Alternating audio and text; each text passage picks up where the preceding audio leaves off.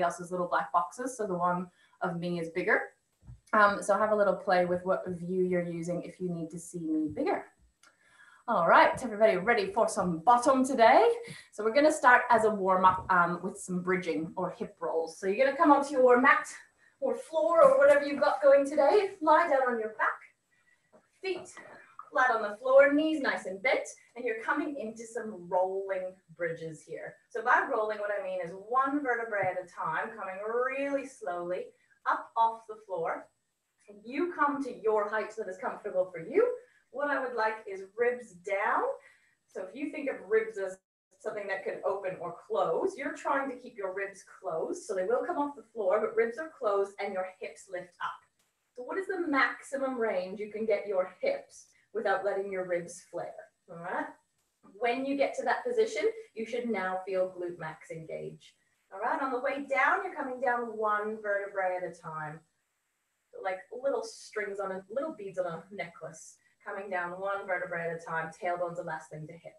So just breathe normally, work your way up, work your way down, taking whatever breaths you like, however many breaths you like, making sure at the top of the range, you're pressing your feet into the floor to engage the glutes without lifting the ribs. Right, keep going there for me while I just make sure I've got everybody sorted. Excellent.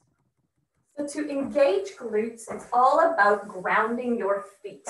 So the more you think about pressing your feet into the floor, the more you're going to be able to activate through the back of the hips, especially those hip stabilizers. So ground the feet, push them into the floor to drive the hips up.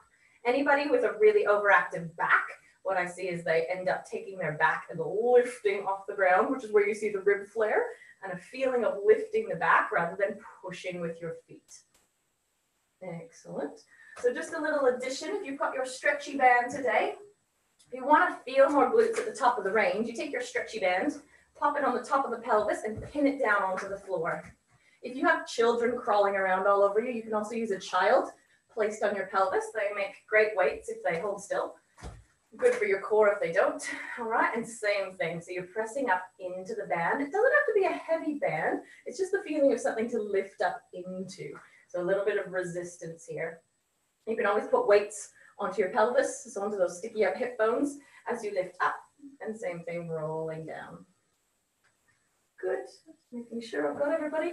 Hello everyone, if you're just starting in, roll up this time and you're gonna hold it up at the top. So you can be with no band, with a band, whatever you like. From the top part of the range, you're gonna inhale and lower halfway down. Exhale, squeeze back up. Inhale halfway down.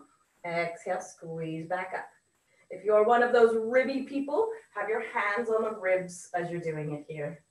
If you want to have that resistance of the band to press into, you can press into that. Think of having a tennis ball between the knees. So a tennis ball between your knees here, keeping those legs just hip distance apart. If you want to actually stick a ball there, that can help as well. Good, you've got two more pulses. Squeeze it up. Last one. Hold your pelvis up float the arms and you're going to reach them back towards your ears and back up to the ceiling. Exhale back towards your ears. Don't let those ribs pop. Inhale back up. Two more. Back towards your ears. Back up. Last time, back towards your ears. And then bring them all the way down towards your hips. Exhale, you're going to lift your heels off the ground. Inhale, lower. Two more. Exhale, lift your heels. Lower them down. Last time, exhale, lift your heels, lower the heels down and then roll down through your spine. One vertebrae at a time and relax to neutral. Good, just have your knees in, rock side to side for me. All right, we've got one more set of bridges, so you ready? This is just the warm up. Feet down on the floor, my bum hurts already. Rolling up, coming up into a bridge position, ribs melted down, hips pressed up. All right, weight shift. So you're gonna shift as much weight as you want onto your right leg. As soon as you see the pelvis start to tilt, you've put too much weight. I need the pelvis to stay stable. So put weight into the right leg. If you want to, the opposite leg floats up. Good, bring it back down. Exhale as you transfer the weight. If you want to, you float the other leg. You don't have to, okay? And inhale back down. So exhale to transfer the weight. Inhale, bring the leg down. Exhale to transfer the weight. Good, bring it down. Pelvis lovely and stable. Exhale, traps for the weight. Hold it there. Bring your pelvis halfway down. You might still have the band working here and pulse up for eight, seven. It's all about driving that foot into the ground. Five, good for four, three, two, one. Foot comes down. If you need to do this with both feet down, that's fine. Other leg up. Pelvis halfway down and pulse up for eight, for seven, for six, five. Good. Go four, three, two, one. Lower the foot down and roll down through your spine, one vertebrae at a time. Good. Well, you've got that band. Just stretch the leg up and have a little stretch through that hamstring. So leg doesn't have to be completely straight. It can if you want. A straight leg, you're going to get a little bit more of a neural stretch. A bent knee, you're going to get a little bit more into that hamstring belly. And breathe. Very important if you're stretching. Good. Cross that leg over the body slightly and you'll get the stretch down the side of the leg. Normally an icky stretch where everybody makes this face. That's the one. Good. Pop your other foot into the band. Take the first foot out. Stretch into the back of the leg. Relax the shoulders. The leg could be straight, you get more of that icky neural stretch. Slight bend, you'll get more into the hamstring muscle belly here. Good, cross it over the body slightly. Just comes down more into the ITB or lateral structures of your leg. And breathe. All right, take the band off and roll onto your side. You can pop your head onto your arm or onto some pillows, whatever works best. So lying right down for you. All right, bottom knee is going to be bent. All right, your top leg is going to be straight. And we're going to work on our good old glute med muscles here. So glute med is on the side of the hip. If you have dominant quad and hip flexors, this is people especially who have had hip and knee problems, your body is going to want to use the structures at the front side of the leg. What we want is the glutes that lives kind of behind the seam of the pants, but on the side of the hip.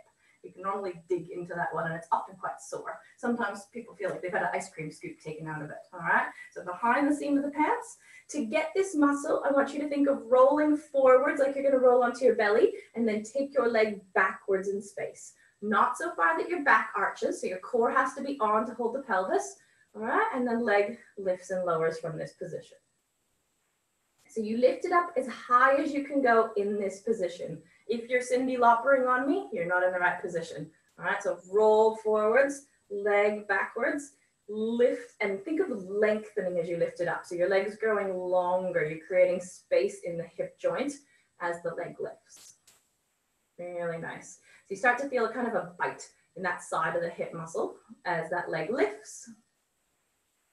Excellent. Hopefully you're finding it. If not, you roll forwards more, take the leg backwards more.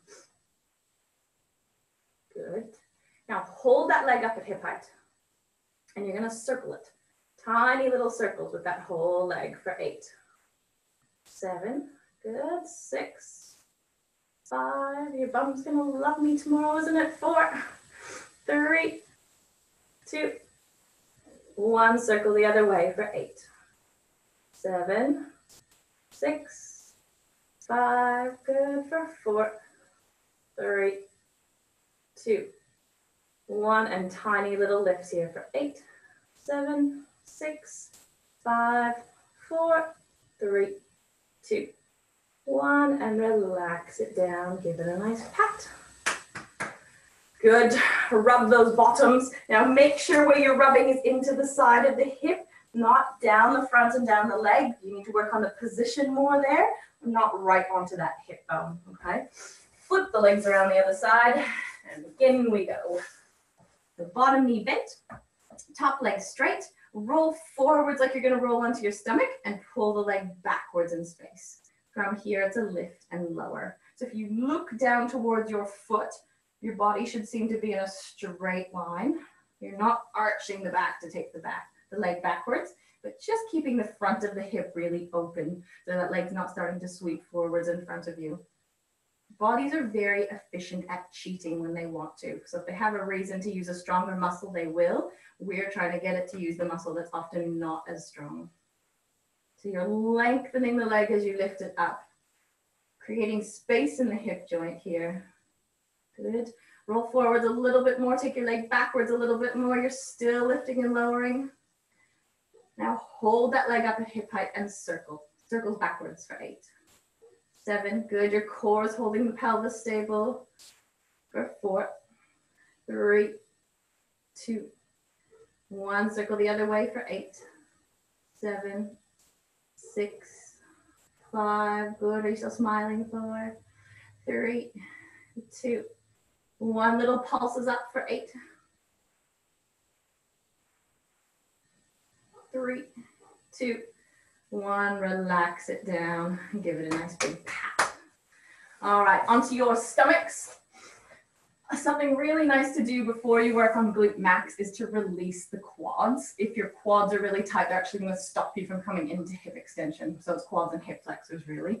So pubic bone stays onto the floor. You're going to reach and grab an ankle or shin. If that's not possible, you lasso it with your stretchy bands, which I'm doing so gracefully, aren't I? So you can be here and stretching. All right, for some people, your pubic bone won't come anywhere near the floor. That's okay. It just shows you what you have to work on to open up through the front of the hip. All right, everybody else, grabbing the shin, pressing pubic bone down into the floor, which will make sure you're not arching your back. You're actually stretching through the front of the leg and hip. Excellent. You can release that leg and go the other side.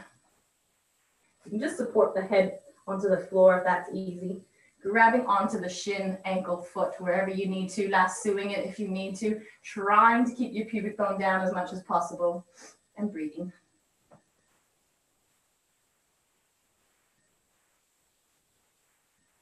Good. So a glute max warm up now. You're going to come and bring your head onto both hands. What I'm looking for is that you can lift a leg up without arching your low back. So really good practice for anyone that has a very overactive low back. If you can't do it lying flat on the floor, you just pop a couple towels or a blanket under your belly button and it should make it easier. So the key is pubic bone down. You pop your heads down onto your hands. I'm going to lift mine so I can talk a bit better. Pubic bone stays down, straight leg hovers up off the mat and then lowers down and then the other side. So straight leg hovers up and back down. For proper walking, we actually need 15 degrees of extension, which is this movement, for proper walking gait. And a lot of people don't have it and they don't have the strength in the glutes to get it. And that's where they start to use other walking patterns that aren't serving their body. So pubic bones down, you're just alternating legs lifting up, and you should feel glute max, which is that nice big muscle right at the back of the hip. Lifting the leg. What you don't want to feel is like your hip bones are pushing into the mat. You should actually have a gap between those hip bones, you know, the bony ones that stick out in the front, and the mat. You shouldn't have a rotation forwards of your pelvis. So your anchor point is the pubic bone as you're lifting and alternating legs here. Good. Come up onto hands and knees for me. If hands and knees aren't going to work, um, you can do something similar standing or stay on your belly. All right, so your left leg's gonna come out behind you. Reach it out behind you. It's gonna stay toes tapped on the floor. You're gonna lift it up behind you, pull it into your belly. The whole time moving this direction without changing your spine. So I want the glute is stretching here and then strengthening as you reach it out behind you lengthening muscle, contracting muscle. All the while staying nice and stable through the back. If you're on your belly, you can just roll onto your side and do something similar here. So reach it out, pull it back behind you. So this is if kneeling's not going to work for you. Okay. So in, reach it out behind you. This time, keep it out behind you. To tap it down and out to the side. Bring it back behind you, tap it down. Up, Tap it out to the side, up, bring it back behind you. Up, out to the side, up, and back behind you. One more time, up, out to the side, up, back behind you. Bend your knee and pulse the back of the thigh up. Keep your core on so your back's not arching for eight, seven, little pulses up, six, five, good, you got four, three, two, one, and relax the knee down. Your bum a shake, nobody can see you, it's all right. Other leg, opposite leg behind you, you're reaching it up, bending it in. Good, taking it back behind you, bending it in. So how much range of motion through the hip can you get, the hip joint, without moving your spine and pelvis? Good, so glute is lengthening, my glute is contracting. Really nice, working through that leg.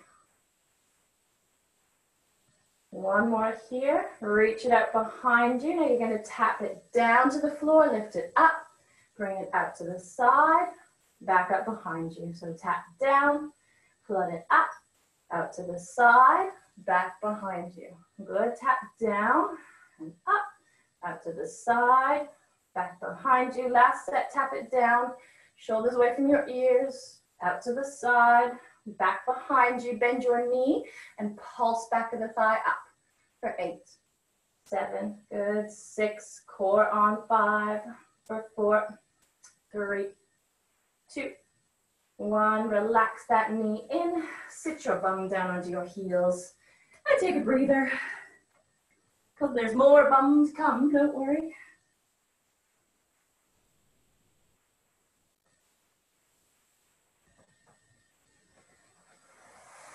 Excellent. Everybody still with me? Hopefully. Coming up to standing. I'm just going to switch up my here. Hopefully we don't fall down.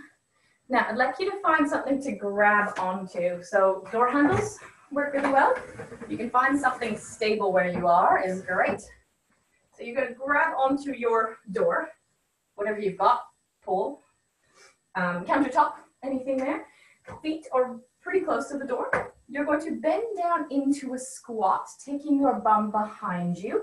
Look down at your shins. I want your shins to be vertical here. So shins stay vertical.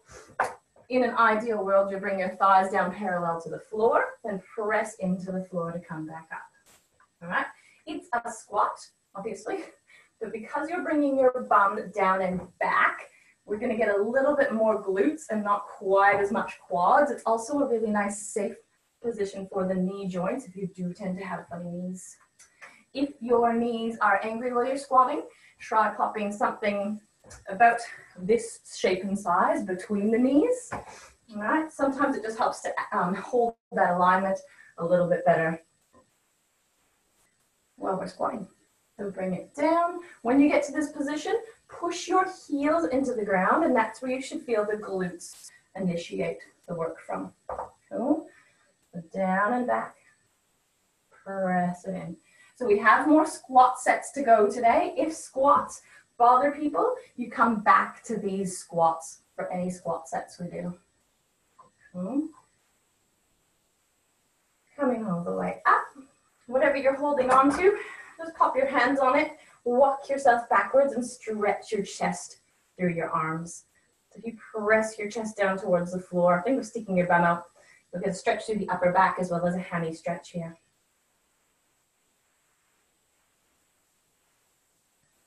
All right, so back up. Option A, you do another set of those same squats. Option B, we take it into a lunge. Same idea, front leg does all the work and the front shin stays vertical. So you come back into a lunge, use that front leg to drive the back leg up. So lunge it down, front leg drives and presses that back leg up. Good, we've got six more on this side. Drive it up. So the back leg's just there for show. It's not doing anything. It's all happening from this front leg. Good, for four more. Heel presses into the ground and drives the other leg up. For three, so that bum connection comes from the grounding into the floor. For two, holding on to something is just letting you bring your body weight back to get into that right position. Last one. Whew, come halfway down and pulse down for five, four, three, two, one. Bring it back up to standing. Shake it out. Shake it out. other side. Otherwise, you're still doing squats for me. Come down into that lunge and drive up the other leg. Good for seven. Lunge it down. Press through the heel to come up. Nice for six. Lunge it back for five. All front leg doing the work. Don't let that back leg help as you get tired for four. Press it up for three. You've got two. Oh, last one. Hard to do while I'm talking to you. And pulse down for five, four, three, two, one. Press it all the way up to standing. Hands or elbows, if you've got a surface like a countertop, pop your forearms on and walk yourself backwards into a stretch and breathe.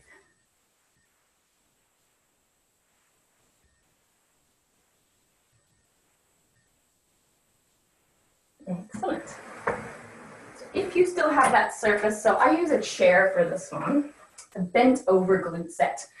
So you can do it just bending over, but if you can pop your hands down onto something, or I prefer forearms onto something, you want to ideally have your torso parallel to the floor or close to it, all right?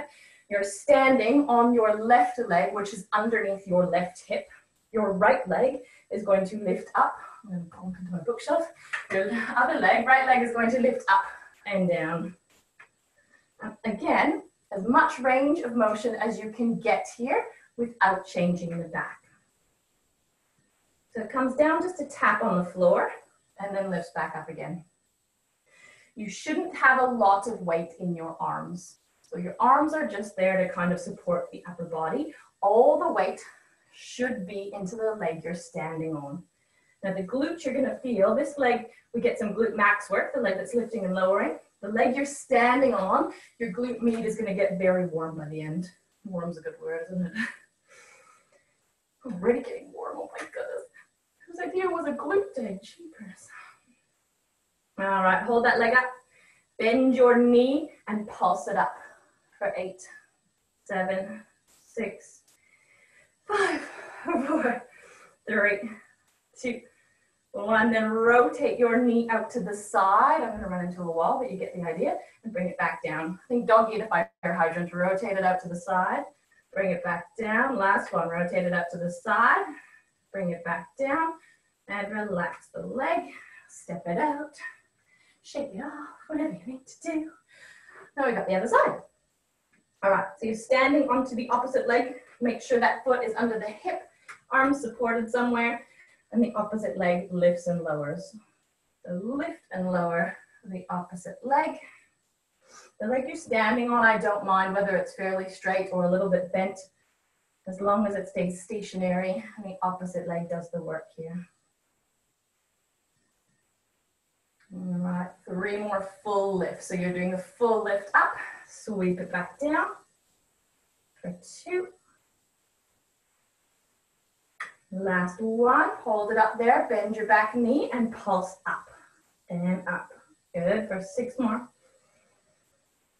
Four, three, two, one. Then take that knee out to the side, draw it back in. Two more out to the side, pull it back in. Last one out to the side, pull it back in. Relax the feet down and just stretch it out again. Good. Thumbs getting warm yet? Oh, don't worry, we've got more. How much time do I have before Zoom kicks me off? Oh, yeah, good. Right, take your band. Hopefully you've got it. You're going to start by bringing your knees all the way together. If you've got one that's already um, strapped up in a circle, great. If you've got one of these long ones, tie yourself into a beautiful bow.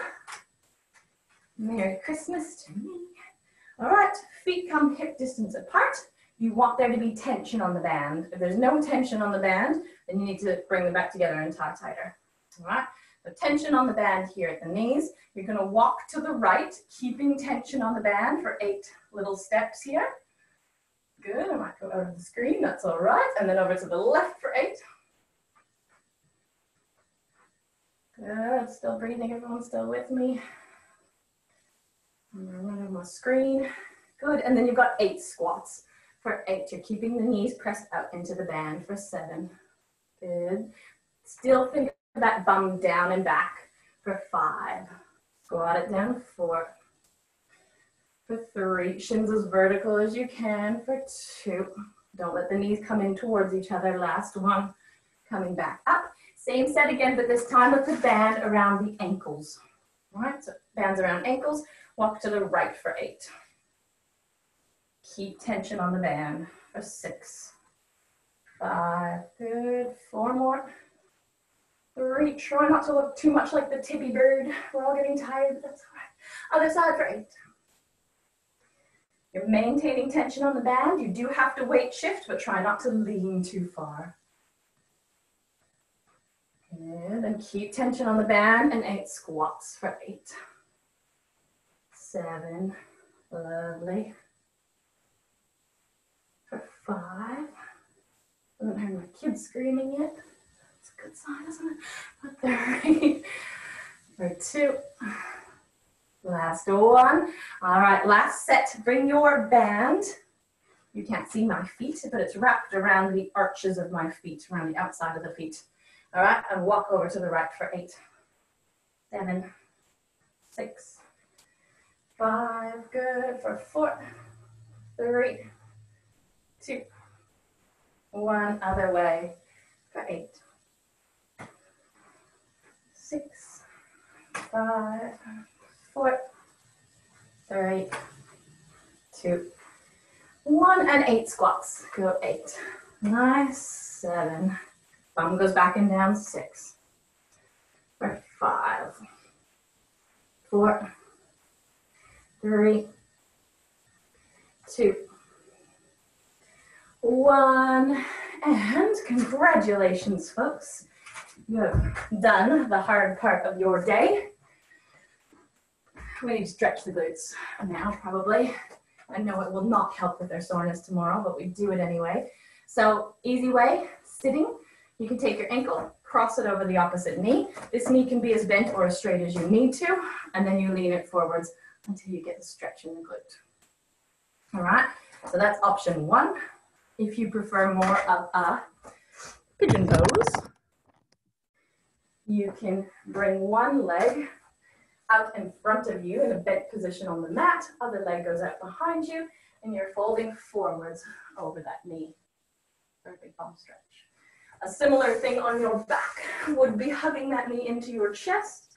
One hand knee, one hand ankle. So you're just picking whatever glute stretch floats your belt really. So pick one of the options I'm giving you or ankle crosses over the opposite knee. So same as we were doing in the chair and pulling that towards you. Or over the next few days, we've got the glutes very warm. You may find you need a glute massage. Foam roller works great. Spiky ball works good. Even um, tennis balls or balls that you'll find that you have around for the dog can work quite well. Little dog balls work good as massage balls, who knew? Not the slobbery ones. You take the roller and you gently and slowly roll around the bum muscles until you find a sore spot that feels quite tender. And then you breathe and you relax your body into it. If the ball you're on, cricket ball for example, is so hard that you can't relax into it, a golf ball, then it's too much. You need to back off. You need to be able to find something that you can relax into the massage, let the muscle melt around it. We're trying at the end of the day to get the muscle to relax and not to cause bruises. All right, so you're going to have a lovely stretch out of your bottom and whatever else you need to stretch. You're going to do a massage either today or in the coming days. Um, and I hope you enjoyed our glute workout. I'm still trying to figure out how to get this recording available so you can do your glutes again and again and again. And I'll be in touch when I've figured out how to use it. So thank you very much, everyone, and have a lovely rest of your day.